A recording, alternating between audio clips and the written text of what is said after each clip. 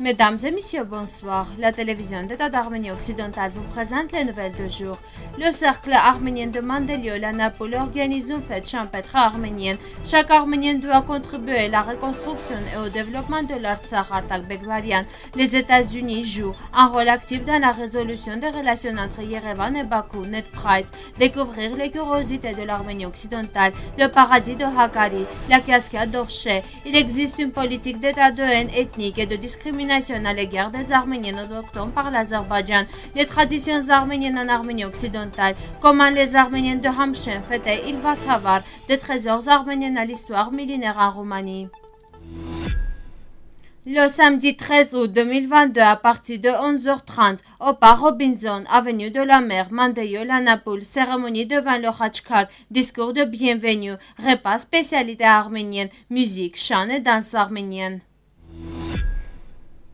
Le ministre d'État de l'Artsakh Artak Beglarian a reçu Petros Terzian, le responsable de l'organe local français du Fonds mondial arménien Hayastan. Je voudrais vous remercier pour votre attitude toujours compatissante envers le problème de l'Artsakh. Je crois que chaque Arménien devrait contribuer à la restauration et au développement de l'Artsakh, a déclaré Artak Beglarian, qui a noté avec satisfaction la contribution de l'organe local du Fonds Hayastan des Arméniens du monde en France et de Petros Terzian personnellement au développement des infrastructures de l'Artsakh. Terzian a remercié Beglarian pour son accueil chaleureux et exprimé sa volonté de travailler à l'approfondissement de la coopération nouée au fil des ans.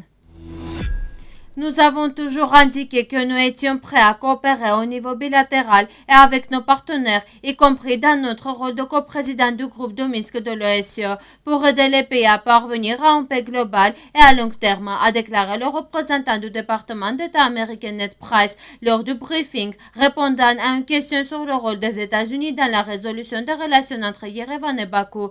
Le secrétaire d'État adjoint Karen Donfred et d'autres personnes ont eu l'occasion de communiquer à un autre niveau avec leur homologue arménien et azerbaïdjanais. Nous nous félicitons de la réunion des ministres des Affaires étrangères de la République d'Arménie et de l'Azerbaïdjan. Nous sommes convaincus que le dialogue est le meilleur moyen de parvenir à un avenir pacifique, démocratique et prospère pour la région de Caucase du Sud et nous continuerons à le soutenir de toutes les manières possibles, il a dit. La cascade d'Orche, située au pied du mont Silo dans le district de Yuksekova, à Hakari en Arménie occidentale, fascine ceux qui la voient. Les membres de l'association d'alpinisme et de sport de la plateforme écologique, qui mène des activités dans le district de Yuksekova, ont visité la cascade située à 4000 mètres d'altitude. L'association d'alpinisme et de sport de la plateforme écologique Yuksekova, qui mène des activités liées à la nature et à l'écologie dans le district, présente chaque semaine différentes parties du district. 35 amoureux de la nature qui ont visité la région, qui est le centre d'attention des alpinistes avec sa nature intacte, ont admiré la chute d'Orche, qui est connue comme le paradis caché de Yuksekova. Cinq organisations arméniennes ont soumis un rapport au comité de l'ONU sur la discrimination raciale de l'Azerbaïdjan à l'égard des Arméniennes. Le rapport préparé par cinq organisations non gouvernementales indique spécifiquement l'arménophobie, la politique d'État consistante en discours de haine à l'encontre des Arméniens de la part des hauts fonctionnaires azerbaïdjanais, la propagande d'État contre le patrimoine culturel et religieux appartenant aux Arméniennes, l'impunité absolue pour les crimes de haine ethnique contre les Arméniens y compris la décapitation et la torture de personnes encore vivantes, ont conduit à une augmentation des criminels contre les Arméniens pendant et après la guerre de 2020 en Artsakh. Les exemples et incidents susmentionnés montrent qu'il existe une politique d'état de discrimination et de haine ethnique à l'encontre des Arméniens de souche en Azerbaïdjan, notamment dans le contexte du conflit de Haute-Karabakh et intensifié après la guerre de 2020.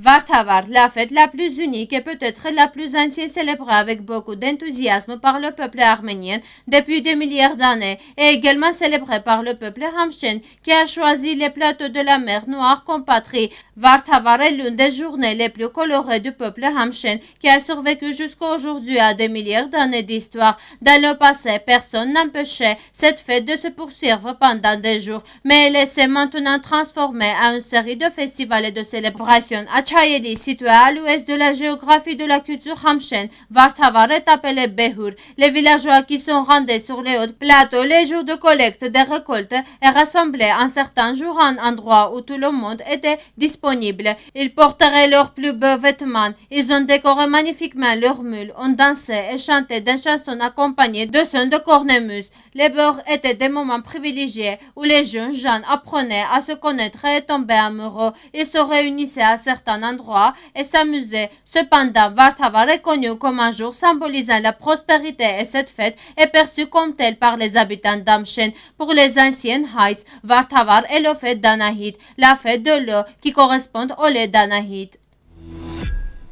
La présentation du livre illustré Trésors arméniens en Roumanie a eu lieu au matin de la Mashtos, le musée Institut de manuscrits anciens à Yerevan. Les pages journées du livre d'images d'écrivains, les trésors arméniens en Roumanie. Les Arméniens se sont installés dans ce pays il y a près de mille ans et ont laissé un héritage dans le domaine de l'art et de l'architecture. Le livre illustré comprend des photographies d'églises arméniennes, de monuments architecturaux, d'icônes, de manuscrits, de croix en argent, de tasses, de couvertures, de manuscrits, d'assiettes et d'autres accessoires de textiles et de ceux, les exemples présentés dans le livre sont conservés aujourd'hui dans les églises, les bibliothèques et les musées arméniens de Roumanie. Le but de ce livre est de faire connaître la richesse arménienne, non seulement aux Arméniens, mais aussi au monde entier. L'Arménie occidentale est une terre riche en art et en culture. Merci de votre fidélité. À la fin de notre émission, vous pourrez profiter d'une performance musique folklorique des Arméniennes. Vous pouvez écouter la version complète de la musique sur notre site web.